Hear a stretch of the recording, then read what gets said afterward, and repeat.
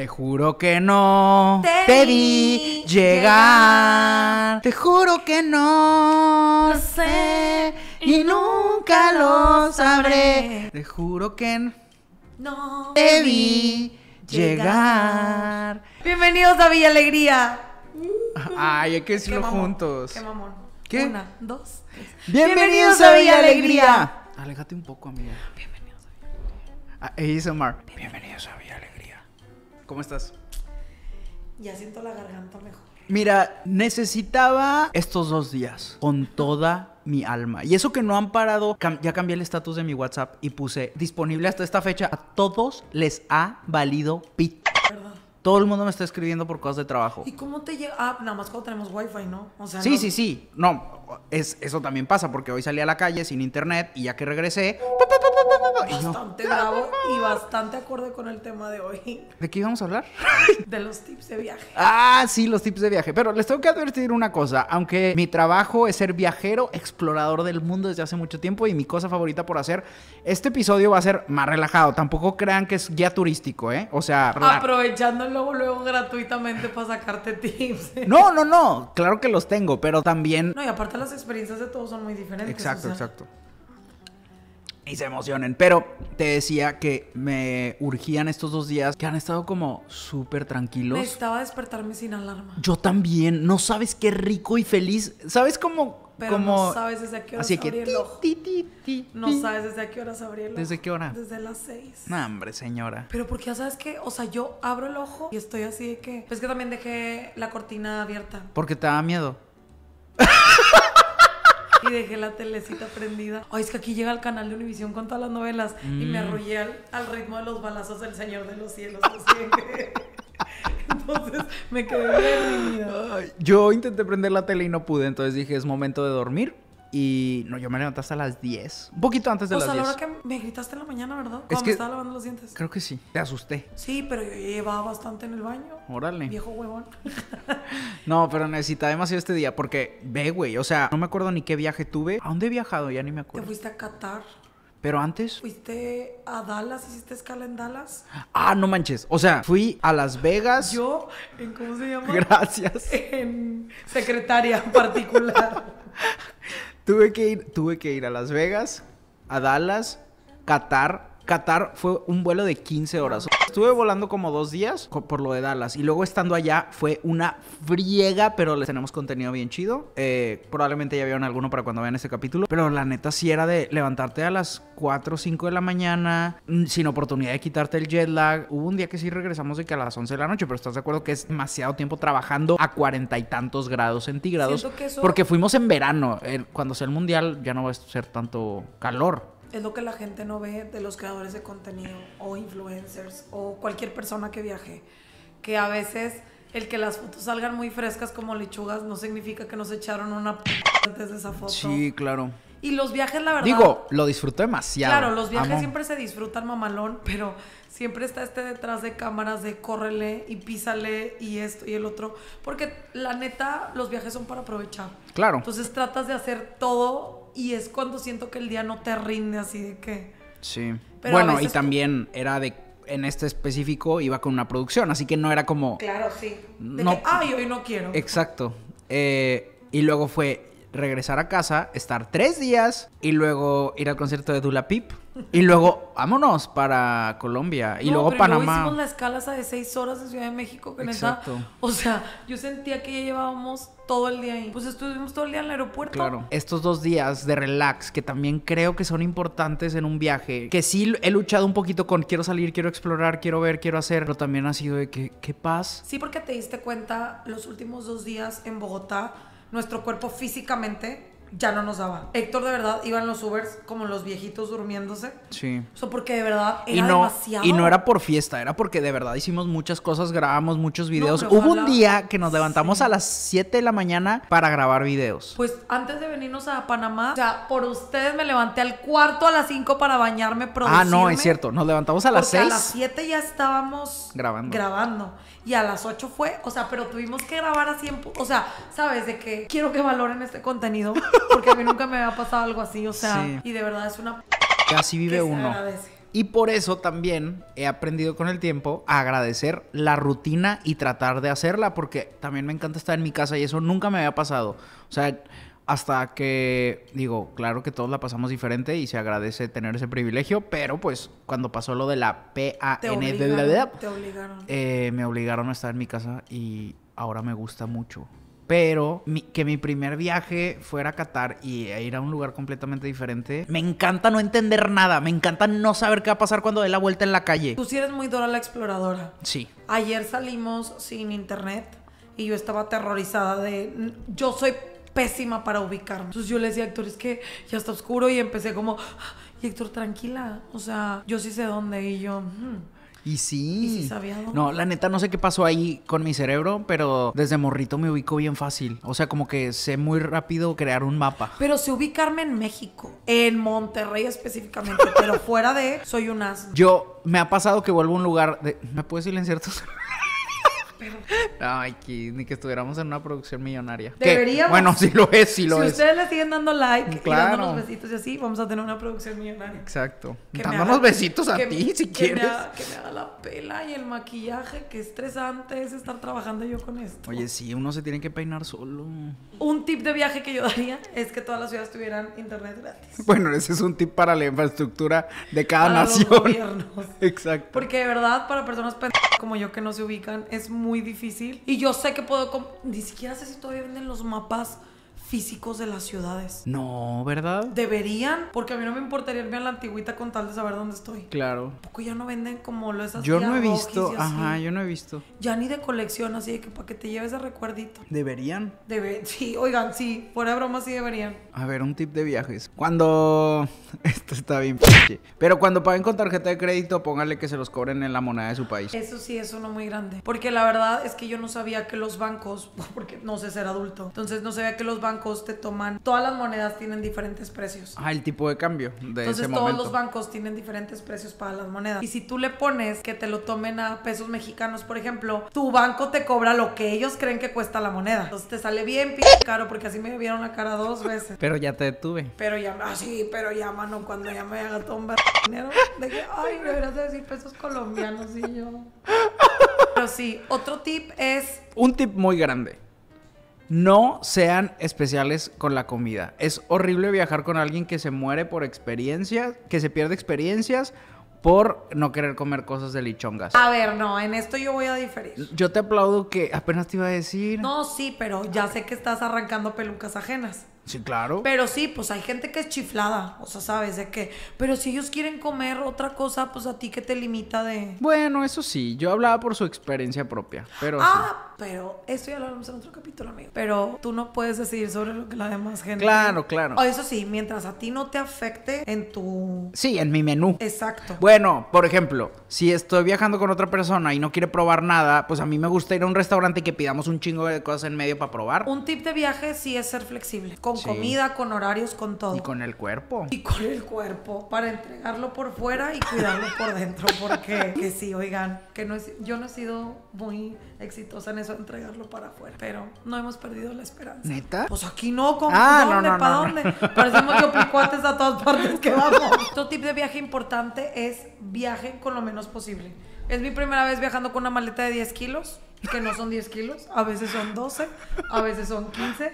Pero me he dado cuenta que hay muchas aerolíneas que no te pesan la maleta de mano y hay otras sí. Entonces, pues es tomar la oportunidad.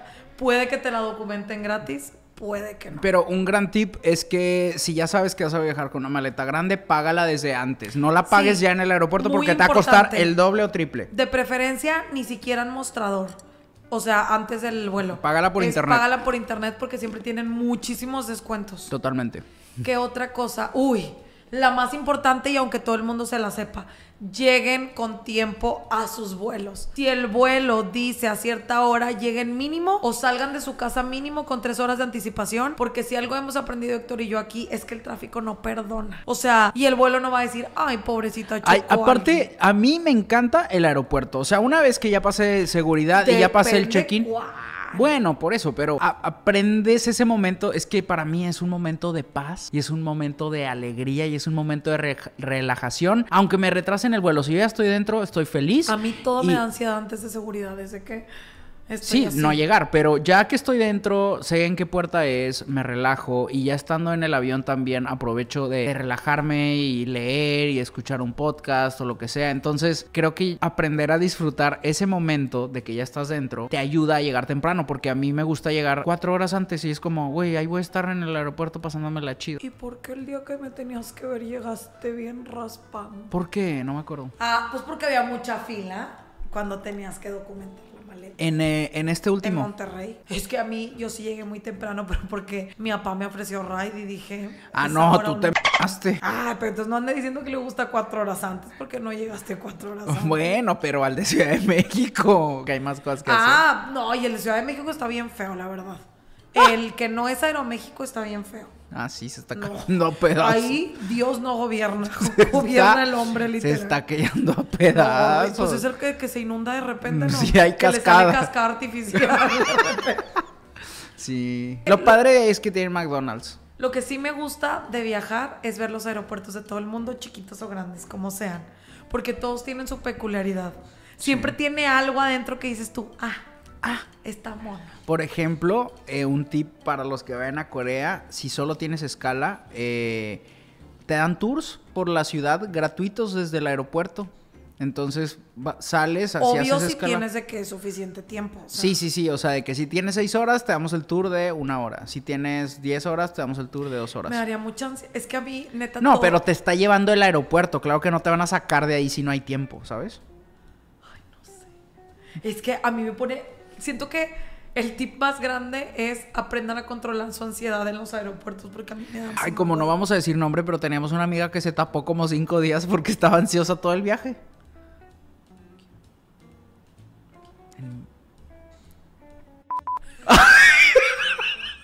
¡No mames! Acuérdate que no puede ir al baño durante cinco días. ¡Ah! ¡Ay, no! Pero es que esa persona de verdad no. O sea, le dimos, fíjate, todo el trigo y la fibra que encontramos en el mundo, café, papaya, laxantes. O sea, yo no sé cómo no se desmayaba en el baño cada vez que iba. Pero aparte nos daba mucha risa que era como, si tú retorcijón y todos, vamos, vamos, vamos. ánimo, ánimo, Suerte, suerte. ánimo, ánimo, ánimo. ¡Échale Y ganas! salía y de qué. Y todos de que, no Güey, como si fuera París. O sea, de verdad, pobre Pelade. No, güey, no me acordaba. Ay. No, fíjate que según yo eso es algo muy normal. Tú de viajero frecuente con problemas de digestión, ¿qué recomiendas? Porque yo la neta, voy a ser bien abierta, yo soy como los perros. Donde encuentro c- o sea, yo no tengo ningún problema y mi cuerpo se acostumbra a diferencias horarias y todo. Este episodio se está saliendo de control. No porque son tips de viajero. Y ahora nuestro compañero de frente nos va a informar cómo c- en los viajes. Pues no, o sea, la ansiedad no te tiene de tus O necesidades. sea, no, pero tú recomiendas, no sé, cuando llegas a la ciudad buscar algo que te ayude o simplemente dejar que pase. Pues sí, o sea, en las mañanas muy normal, como debe ser. Pero es que de verdad hay gente que no, ni en las mañanas, ni aunque se tome nada. Imagínate si el viaje dura dos semanas, un mes. No, pues ahí quedó. Por eso si ven a la gente un poquito chonchita en las fotos, no critiquen. Ok, ya tengo otro tip que se me acaba de ocurrir con esta temática. Siempre carguen con papel de baño, si pueden. Siempre carguen... Neta. Sí, digo, a mí me gusta llevar hasta servilletitas cuando voy al festival. Imagínate de viaje. Ah, Sí. O sea, no, no al hotel ni al Airbnb, pero cuando vas a tener un día largo fuera en el en tours o lo que sea, nunca sabes cómo van a estar los Nunca baños ocurrió, públicos, neta, claro. Sí, sí. Siempre muy importante para las mujeres, llévate una bolsa pequeña que se pueda cruzar. Eso nos ha salvado la vida mucho a los dos. Es una bolsa y súper importante. No, las mujeres y los hombres. No saquen pasaportes de las cajas fuertes de donde estén. Si no tienen una caja fuerte donde están, déjenlo adentro de su maleta. Porque el pasaporte es lo único que te asegura que vas a regresar. Claro. Me he dado cuenta que hay mucha gente que anda por la vida con el pasaporte en la mano y digo yo, mi ansiedad otra vez. Hablando. Claro. Pero digo, güey. ¿y Pues si a veces tu ansiedad tiene razón y te va a ayudar y te va a salvar. Es que soy como muy pesimista. Sí, me he dado Como- cuenta. Como me gusta pensar en la fatalidad. Oye, sí está cañón, ¿eh? Ah, ¿De, qué, ¿De dónde viene eso? Porque tu mente... Mi, mi, mi mente me juega muy. Siento que lo dices en broma, Pero no es broma. pero lo piensas real. Sí, de verdad. O sea, tengo un humor muy negro, claramente. Pero cuando digo las cosas, normalmente el 80% de lo que digo es una realidad. Ok, tengo otro tip. Yo casi siempre hago un acuerdo cuando viajo con alguien más que necesitamos separar dos días. Una noche y un día entero. Una noche para la peda y un día entero para la cruda. O sea, que no me vayas a traer subiendo una pirámide, sudando la gota gorda, eh, sufriendo y con dolor de cabeza. No quiero. O sea, claro, no todos los viajes son para salir de fiesta, pero si es una ciudad que nos interesa conocer la vida nocturna, sí separar una noche para eso. Y el día siguiente es de que, güey, vamos a pedir pizza o vamos a comer tacos o vamos a- a crudear realmente, porque si no, vamos a estar muy mal al Sí. día siguiente. Entonces, creo que hay tres días necesarios en los viajes largos. Si es un viaje corto, no, se cancela la peda.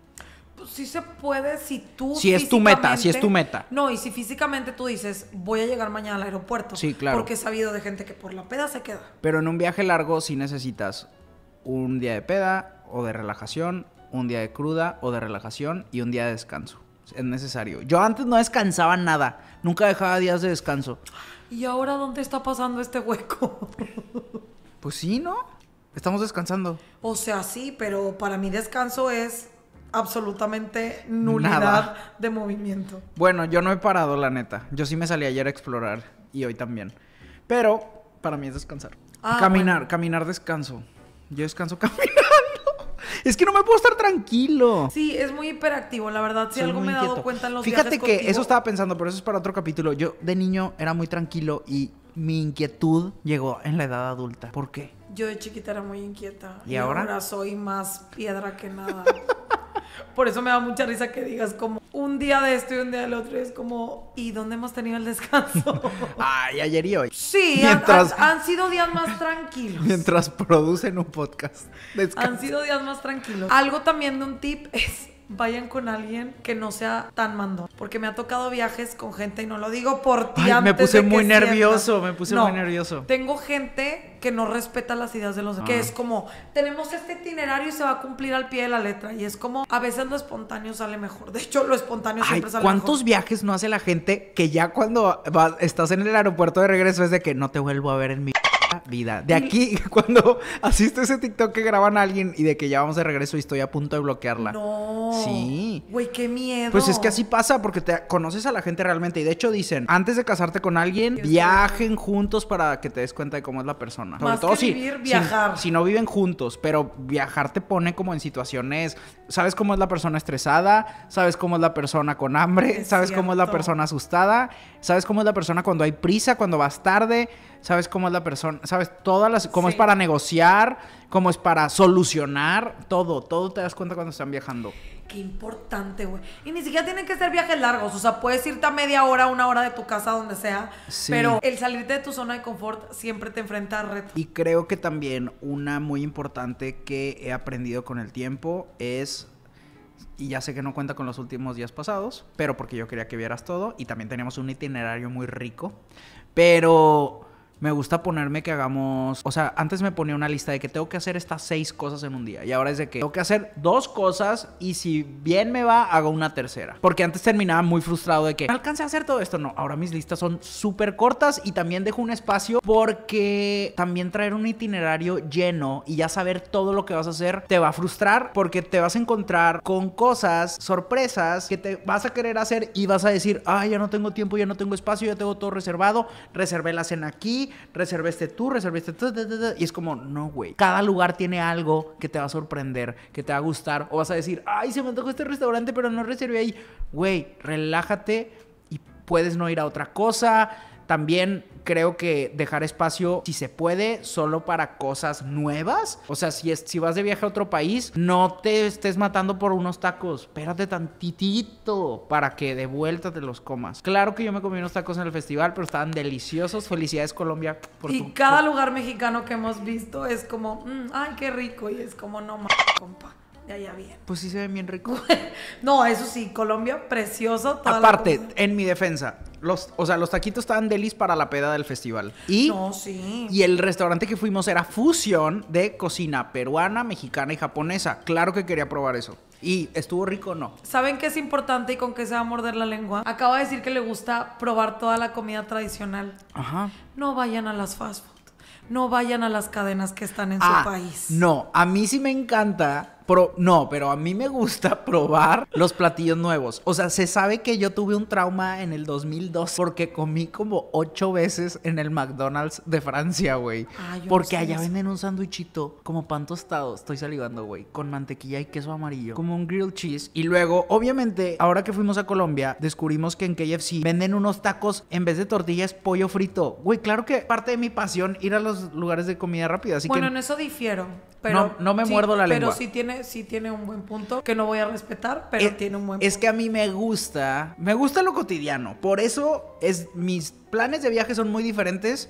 Porque a mí, para mí es un día provechoso ir al súper, ir al centro comercial, porque ahí es donde está la gente día a día. Y yo aprendo más de la cultura de esta madre de familia eligió ese atún y este señor que trabaja en una oficina eligió esas papitas. Y esto es lo que está pasando. Este país es este ahorita. E- Este país va a este súper y la historia se está escribiendo en este momento. Porque la historia también es el día a día. Y eso es lo que a mí me gusta. No solo aprender de, güey, pues sí, se murieron hace 200 años y esto escribió la historia. Pero nadie está seguro. O sea, no es que no crea en la historia. Sí creo en la historia. Pero a veces le ponemos más atención al pasado y al futuro en vez del presente. Y para mí estar presente también es ver la cultura Y la cultura actual está sucediendo ¿dónde? En los centros comerciales, en los lugares públicos, en los parques, en las playas, está sucediendo en los antros, está sucediendo en los restaurantes. Entonces, no todo es ir a ver una escultura vieja que hizo un señor que se murió hace 500 años. Pues sí, está padre y todo también. Pero frente a ti, en la fila de las tortillas, hay gente que tiene cultura adentro de ella. Entonces, por eso me mama ir al súper. Y también la comida rápida es como que le adaptó McDonald's de este país a, a la hamburguesa que todo el mundo conoce. No tengo absolutamente nada que decir. Claramente este tema ya iba yo de pierde desde que empezamos, pero qué bonita forma de ver la vida. Ah, pero es que también, digo, también Pero yo, es que hay diferentes tipos de viajeros. yo soy bien exagerado porque yo disfruto ir al súper en mi casa también. O sea, no, pero no me refiero tanto al súper. O sea, tú en cualquier país siempre estás rápido, rápido, rápido. O sea, ¿sabes? Quieres tener todo, todo, todo. Y no está mal. Pero a lo mejor yo soy más como tranquila en ese aspecto. Lo cual tampoco está mal. Simplemente somos viajeros diferentes. también quiero eso. O sea, también me mama el poder sentarme en un Y cafecito. luego, por ejemplo, está personas como Hispania que son más de ver naturaleza, de cosas que a lo mejor yo jamás ni física ni mentalmente podría hacer. Porque no, ¿sabes? O sea, tenemos muchos tipos de viajeros y eso es lo padre de viajar a veces en conjunto solos, que vas aprendiendo cositas. Sí, no- creo que no hay ni buena ni mala manera de viajar. Creo que la única manera es como aceptando lo que hay, lo que puedes hacer eh, y todo es relajarte. O sea, no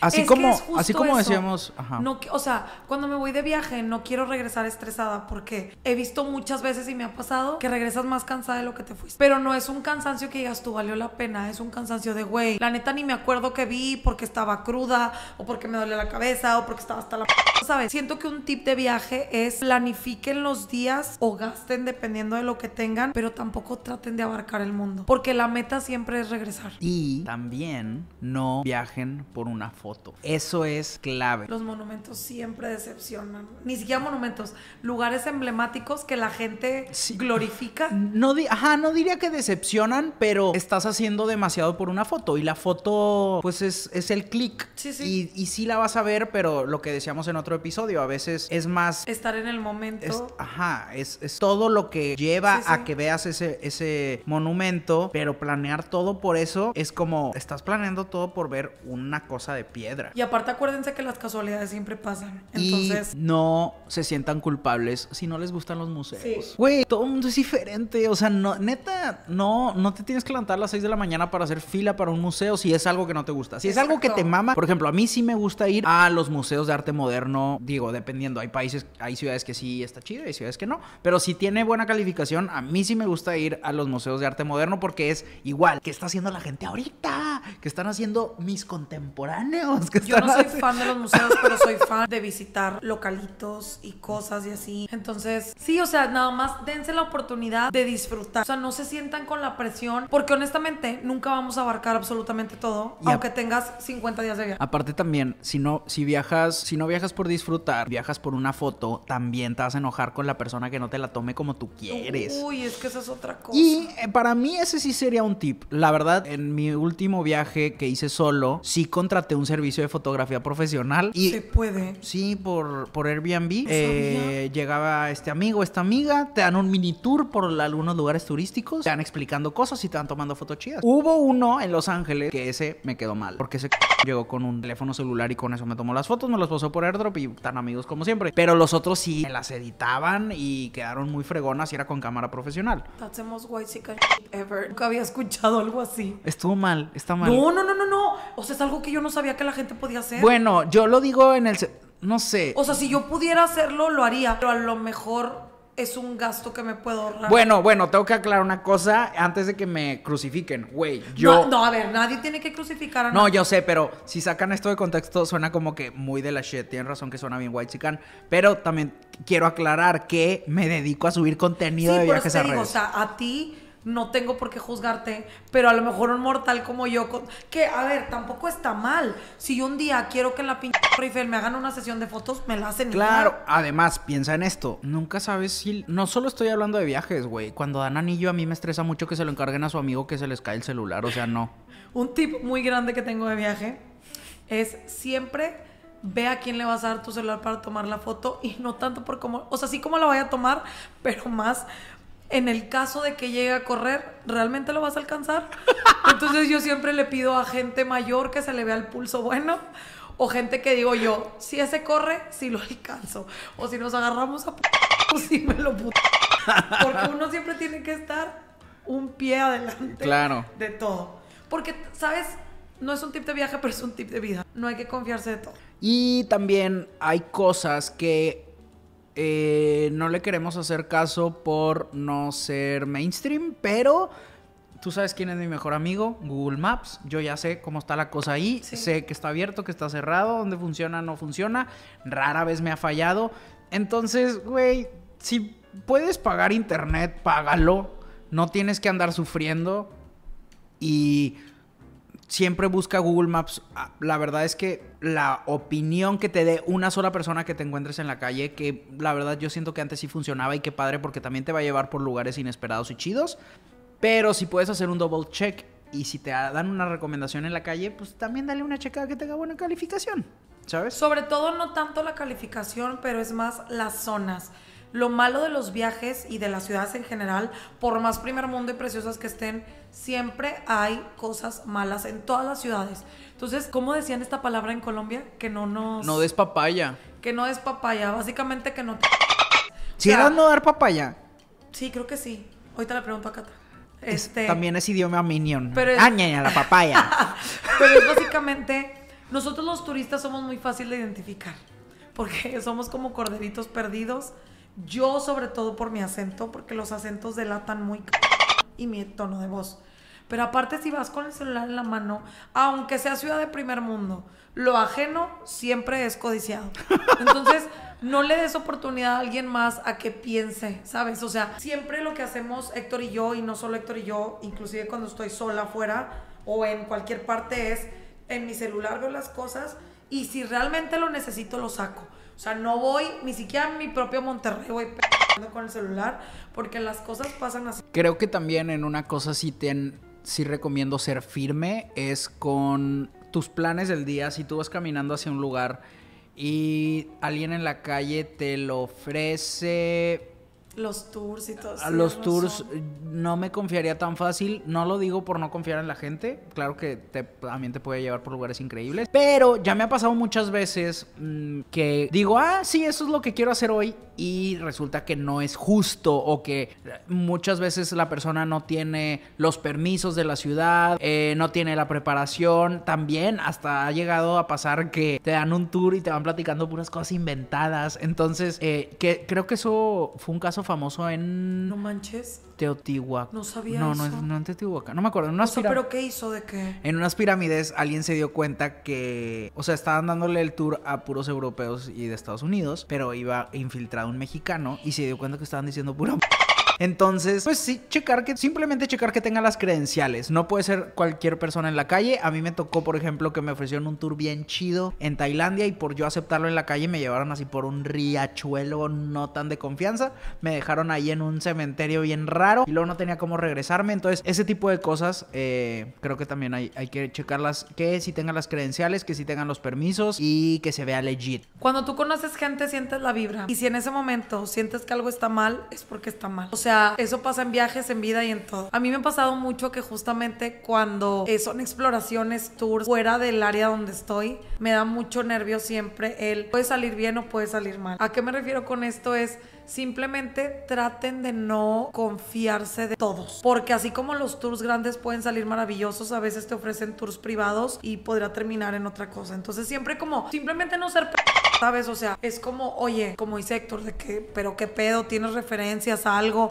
O preguntar a los, los hoteles, Airbnb, todos siempre alguien de la ciudad va a saber algo de algo. Entonces, también a veces es bueno platicar con la gente, aunque hay muchos que difieren con esto de estar platicando como con todos. No es como que les estés contando tu vida, pero a veces es bueno saber Sí. qué hay en la ciudad, cómo lo ven ellos, o sea, porque acuérdense que a los turistas en general los nos ven como eh, bolsitas de dinero. Entonces, No todo, y creo que ahí va este tip. Creo que a las personas que te sirve preguntarle es a la persona que ya contrataste para algo. Entonces, por ejemplo, si ya contrataste al del Uber, normalmente te va a dar buenas referencias y, es, y normalmente es una persona local. Si ya contrataste un Airbnb, normalmente te dejan guías, eh, te dejan mapas eh, y les puedes mandar un mensajito y te van a responder la duda que tengas porque también normalmente son locales. El hotel en el que te estás quedando también.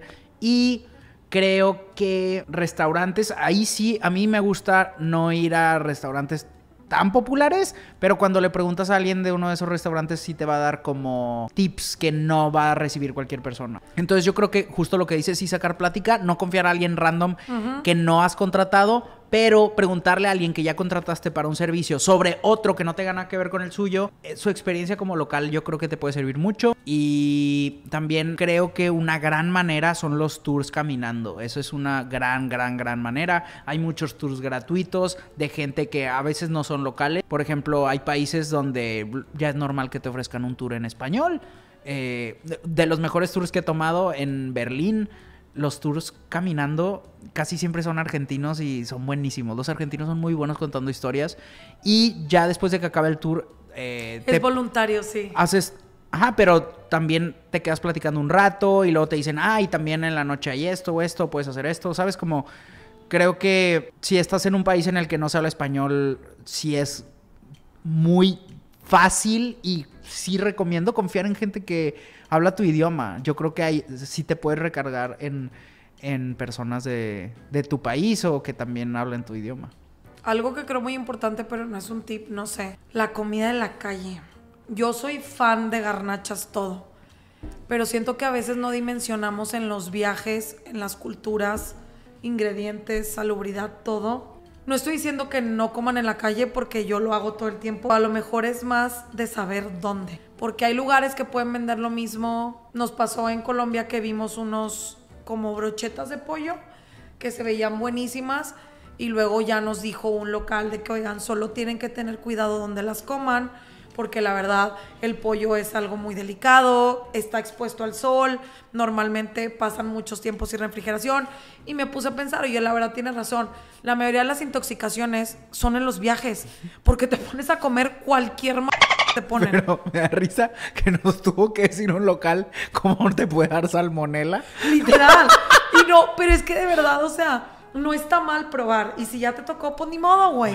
Pero es muy feo que los viajes se te arruinen por una infección estomacal. Claro. De verdad. Tienes que tener mala suerte. Sobre O sea, todo porque en los viajes no siempre hay baños. Entonces es muy Sí. incómodo estar de que. Pero pues también hay viajes donde ya sabes a lo que vas. O sea, no sé, por ejemplo, en Tailandia yo ya sabía, güey, una vez. Es que también sí me he pasado de sonso a veces. nervio. Una vez compré lo que yo pensaba que era carne de res debajo de un puente, ah, ya en la noche. O sea, yo no veía nada, nada más veía que algo se estaba quemando.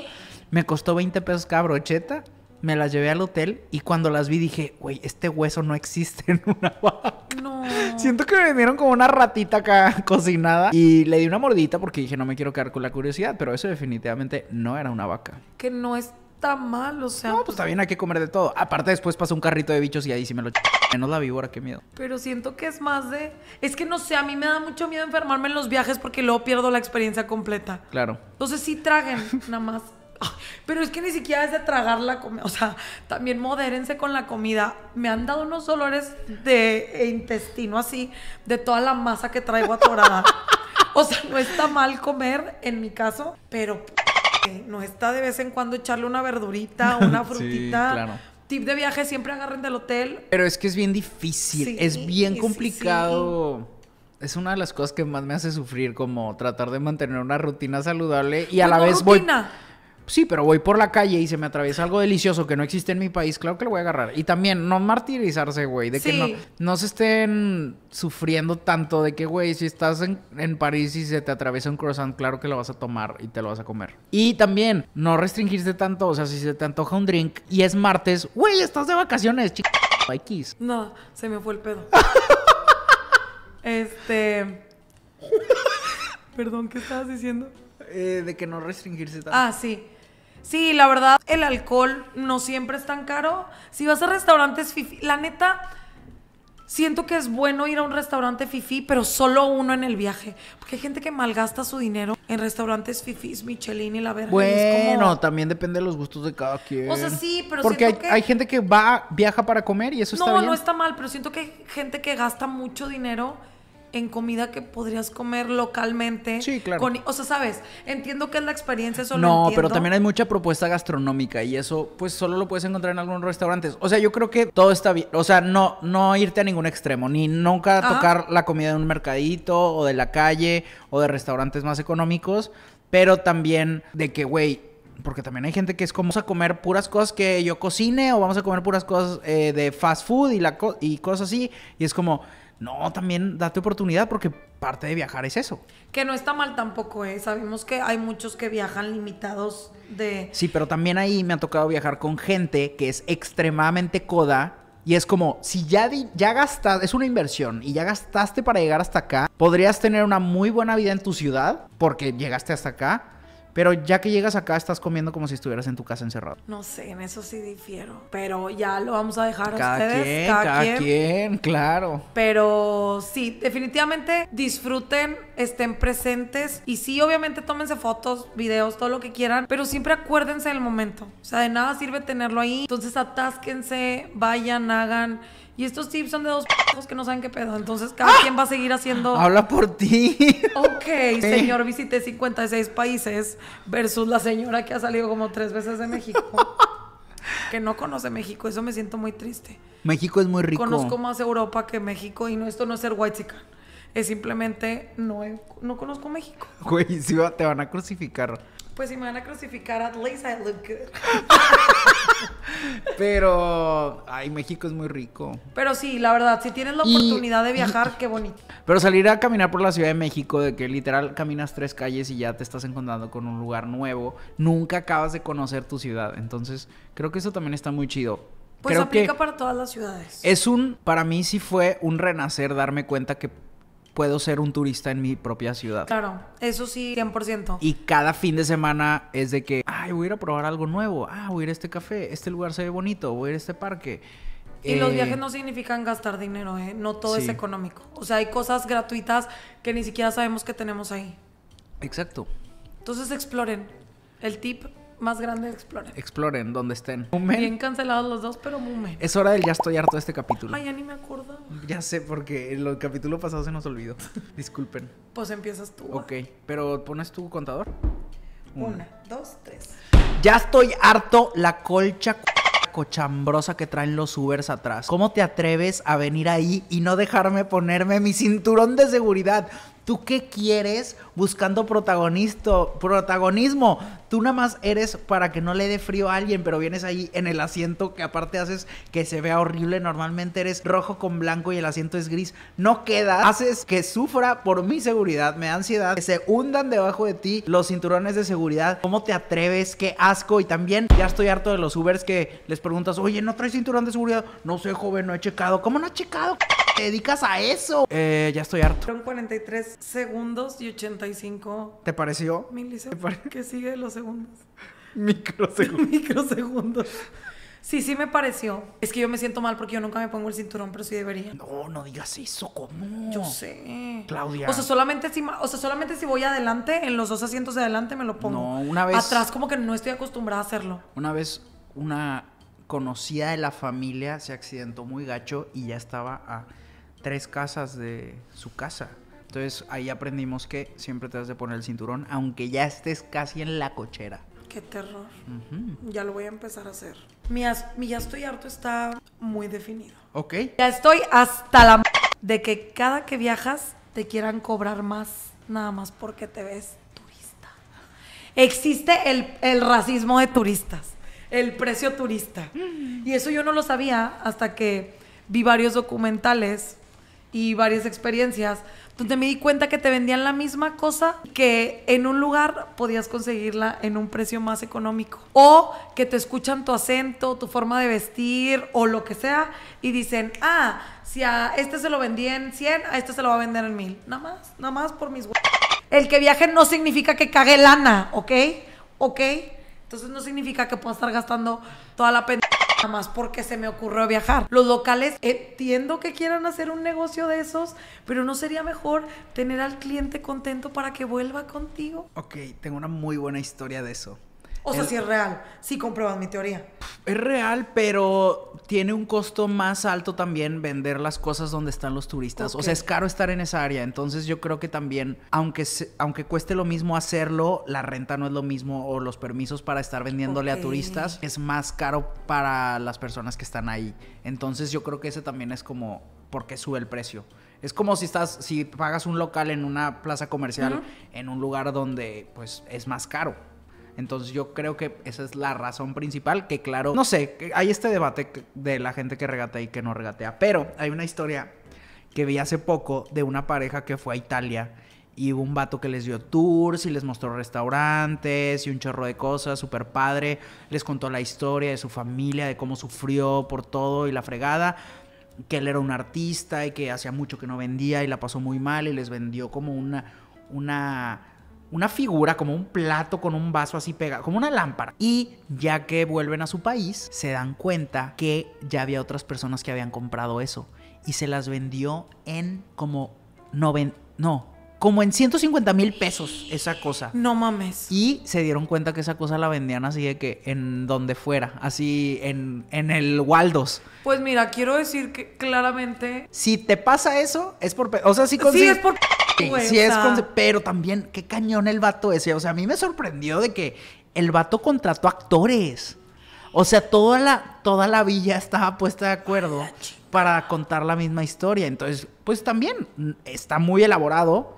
Y cuando se fueron, claro que estaban convencidos de que sí, la señora que corta el pelo. y Digo, el señor que- obviamente uno dice, pero la verdad es que a veces te gana la empatía o el verbo de la persona y, Claro. güey, te envuelve, o sea, pues qué. Sí, sí, sí, pero esa historia se me hizo impresionante. Pues esperemos que pero los comentarios, el verbo. pero todos los comentarios decían, pues si te alcanza, ni modo, ¿sabes? De que pues sí. O sea, también si consideras comprar un souvenir tan caro, qué Pues, fuerte, que, ¿no? Pues, pues es que, ¿qué te Si te alcanza. mano? Pues sí.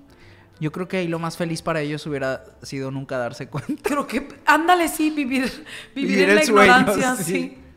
Pero bueno, un placer Un placer. de caballero a caballero. Dejen Y su comentario, dejen su un emoji, avioncito. un avioncito. Hay un mapita. Sí. Sí, hay un mapita. Ah, bueno. Y díganos a dónde quieren que viajemos. Ah, nos lo irán a patrocinar ellos. Puede ser, puede ser. Nos vemos en el próximo video.